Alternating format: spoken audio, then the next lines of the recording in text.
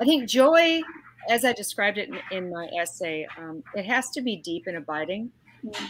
Happiness is fun. Happiness is getting a a box in the mail. Happiness is seeing Amazon drop off a book in my mailbox. Happiness is seeing my granddaughter play soccer. Mm. But that is momentary. And then joy is something that is deep and abiding that you don't lose.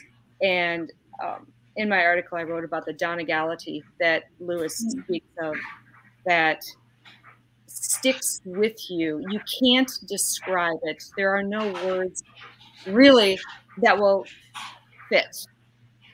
It's just something that you know and you feel inside. Mm-hmm. Um, I get that when I when I go back to my hometown and I, I smell the air, I see the fields, I talk to the people. It's this overwhelming feeling of yes, this is good, this is right, this is beautiful, this is holy.